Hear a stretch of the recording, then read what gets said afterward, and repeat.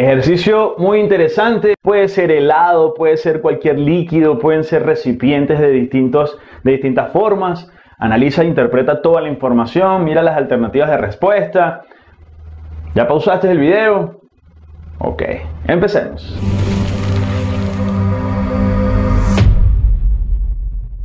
Mira mi gente, hay que tener cuidado con lo que están diciendo. Básicamente desde el principio hay una caja de helado en forma cilíndrica y ya tiene las dimensiones. O sea, te están diciendo ya, suponiendo que aquí tendríamos nuestro cilindro, ¿ok? Suponiendo que este es nuestro cilindro, básicamente esto sería para nosotros la, lo que es la altura, ya la altura es conocida, ¿ok? Tratando aquí de hacer un dibujito lo más representativo posible para ti.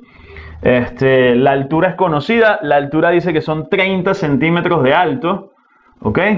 30 centímetros de alto. Y para nosotros el diámetro, que es de 20 centímetros. Si el 20 centímetros es el diámetro completo, la distancia desde el centro a cualquier lado del borde sería 10 centímetros, que es el radio. ¿Ok?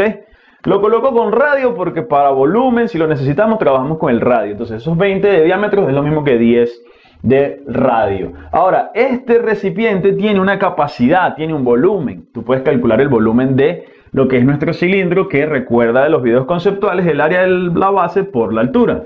Es pi por el radio al cuadrado por la altura que es h. ¿Sí? El área de la base que es un círculo por la altura. Ahora, a partir de allí eso se va a llenar, se va a colocar en otros dispensadores en forma cónica. ¿Qué pasa con los conos? Tienen la misma altura, pero el diámetro del cono es la mitad. Entonces, si el diámetro que antes era 20, ahora el diámetro va a ser 10, el diámetro de los conos es la mitad, y el radio para los conos no sería 10, sino que sería 5. Quiere decir que si acá, por ser cono invertido, tú puedes pensar en un cono que sería esta forma, pero si lo inviertes tendrías el circulito arriba, que su diámetro ahora va a ser 10, que es lo que nos está diciendo el ejercicio, porque se reduce a la mitad, el radio es 5, pero va a tener la misma altura, va a tener una misma altura y la pregunta sería, básicamente cuántos conos se pueden llenar con, ese mismo, con esa misma cantidad del envase. ¿Cuántos conos se va, a poner se va a poder llenar? Y suponiendo que esta sería la misma altura, ¿ok? Entonces, para estos conos tenemos que son 30 centímetros igual de alto, ¿de acuerdo? 30 centímetros de alto y tenemos que su radio sería de 5, el radio. ¿Qué vamos a hacer? Podemos hacerlo de manera directa. Calculamos el volumen del cilindro, calculamos el volumen del cono y para saber cuántos caben, pues hacemos una división.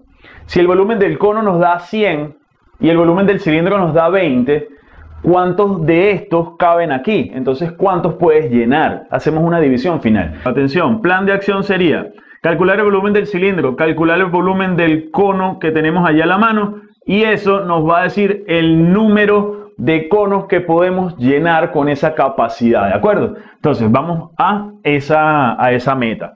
Vamos con el volumen del cilindro, sencillo.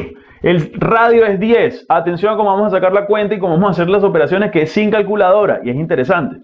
El radio es 10. 10 al cuadrado sería 100. 100 hay que multiplicarlo por 30. Eso daría 3000. ¿De acuerdo? Y por pi, pues queda 3000 pi. Repito, 10 al cuadrado es 100.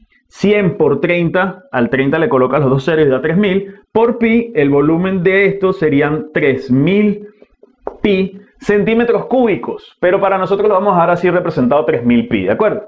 Vamos con el del cono. Recuerda que el volumen del cono, a nivel de expresión, si tú tienes un cono cualquiera, es la tercera parte del volumen de un cilindro que tenga el mismo radio y la misma altura. Pilas. Quiere decir que es pi por el radio del cono al cuadrado por h dividido entre 3. Ahí está la clave. Pilas con eso. Es este mismo, solo que dividido entre 3. Entonces ahí tú sustituyes. El radio para el cono no es 10. El radio para el cono serían 5 centímetros. El radio solo son 5 centímetros. 5 al cuadrado, vamos a sacar la cuenta. 5 al cuadrado lo multiplicamos por la altura que es 30 y lo dividimos entre 3. Mira cómo podemos hacerlo rapidito así. Atención. Pi por 5 al cuadrado por 30 entre 3. 30 entre 3 es 10. 5 al cuadrado es 25 por 10. Quedaría igual a quién? Que el volumen del cono para nosotros se puede representar como 250 pi centímetros cúbicos. ¿De dónde sale el 250? 30 entre 3 es 10, 5 al cuadrado es 25, por 10, 250 y colocas el pi. Quiere decir que el volumen del cono, y lo voy a escribir acá, ¿sí? Vamos a escribir, este sería para nosotros el volumen del cilindro, esto está en centímetros cúbicos, vamos a escribir acá el volumen del cono, el volumen de nuestro cono precioso son 250 pi, también en centímetros cúbicos la unidad, tendríamos esos dos volúmenes ya calculados, y como dijimos, vamos a hacer la división, vamos a dividir las cantidades. Si dividimos los dos volúmenes, nos quedaría el número de conos de recipientes de este estilo que tú puedes llenar con lo que hay acá adentro. ¿sí? Entonces, volumen de nuestro cilindro entre el volumen de nuestro conito precioso sería dividir 3000 pi centímetros cúbicos entre 250 pi centímetros cúbicos. Los pi se cancelan, los pi se anulan, al final es un factor, es un número que está multiplicando. Al 25 le puedes quitar un 0, al, 300, al 3000 también y queda 300. Y podemos seguir simplificando esto. Mira, el número de recipientes, vamos a ponerlo así, número de recipientes sería la división de 300 sobre 25. Si quieres hacerlo por el método tradicional, hágalo. Yo, mira cómo te lo voy a recomendar. ¿Sí? Este 25 que está aquí abajo es 5 por 5. Conclusión, el 300 te conviene escribirlo para que cancele los 5 de abajo. ¿Cómo? Mira, 300 es lo mismo que 30 por 10. ¿Sí o no? Porque 30 por 10 da 300. Ahora, si tú haces 30 entre 5 daría 6 y 10 entre 5 daría 2. ¿Y cuánto es 6 por 2? 12. Yo sé que te gusta esa división, ¿verdad que sí? Es una forma distinta que irse a lo tradicional, que si tú quieres ir por el camino tradicional, está bien y no habría ningún problema y da el mismo resultado. Quiere decir que el número de recipientes que se pueden llenar son 12. Conclusión, si tú agarras un cilindro con esta capacidad y quieres llenar recipientes cónicos que el diámetro ahora es la mitad, es decir, que el radio se reduce a la mitad, a ti te da para que con esa misma, ese mismo volumen llenar 12 recipientes cónicos que tengan la misma altura, pero que el radio sea la mitad, que el diámetro sea la mitad. Espero que haya quedado claro. Mira el análisis, básicamente la respuesta correcta serían 12.